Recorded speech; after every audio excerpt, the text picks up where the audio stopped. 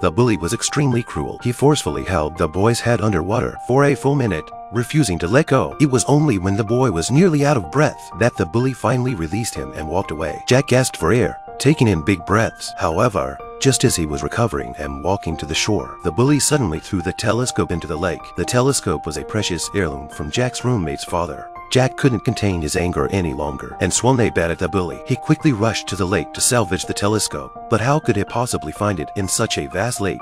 Disappointed, Jack returned to the shore, only to find the bully lying motionless. Jack was terrified, thinking he had killed the bully. He grabbed his clothes and ran away in a panic. However, halfway through his escape, he suddenly regained his composure. He realized that he couldn't just leave hastily like that. So, he went back to the lake, only to find that the bully had disappeared. Nightfall came,